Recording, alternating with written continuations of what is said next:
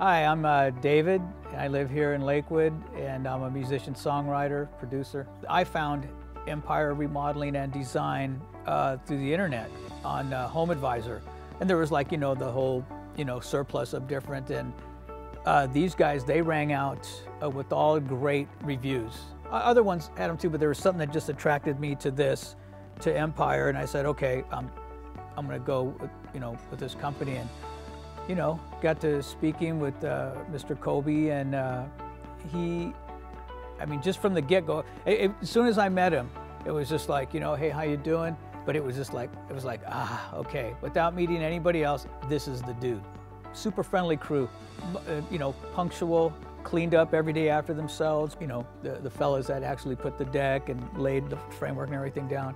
I mean, they just got down to business.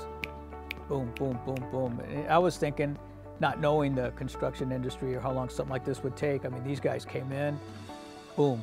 And before you knew it, man, we were sitting under this thing.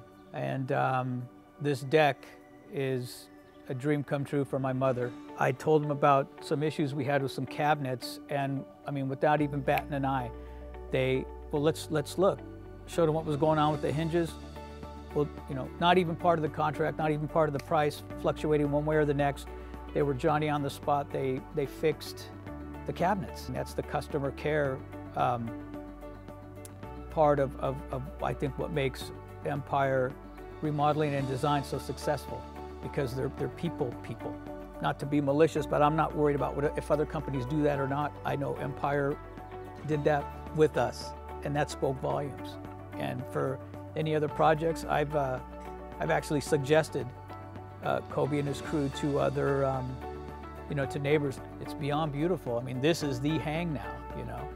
And I have uh, friends that come over, and especially at night with the lights on the on the east and the and the south wall here.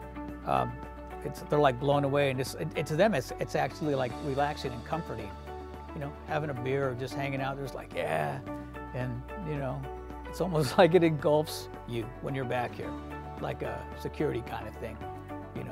But really, you're just hanging out and admiring the, the amazing uh, work and craftsmanship of, of Empire and, and Kobe and his crew.